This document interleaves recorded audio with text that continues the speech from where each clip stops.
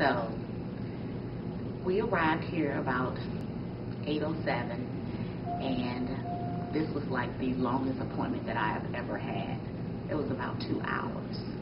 Um, the babies weren't cooperating, they weren't moving, so uh, the ultrasound tech had to continuously poke my belly. It was hurting. Um, I had to use the bathroom, so I ended up emptying my bladder. Um, and I was afraid that she wasn't going to be able to get the gender for the baby. But she was. So I'm holding the results in my hand right now. But anyway, she was able to tell me the gender of baby A and baby B. Um, and it's a result that my husband and I, uh, well, I was hoping it was the other way, you know.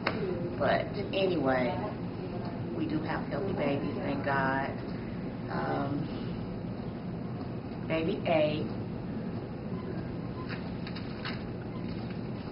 Let me see if I can hold it up.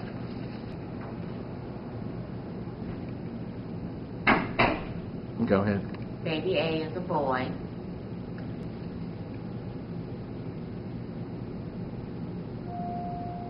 Go ahead. Baby B is also a boy. So, I do not get my little girl unless I get pregnant again. We're having two boys.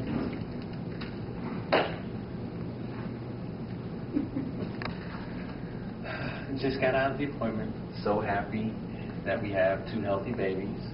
I'm so happy that we have two healthy baby boys. I'm so happy for my wife. And can't wait to share with all of you the good news so we can celebrate. And uh, hopefully they'll be here soon. Names are still to come, so stay tuned.